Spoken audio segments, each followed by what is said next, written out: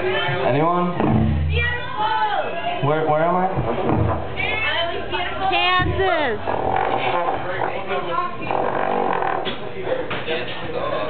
Kansas.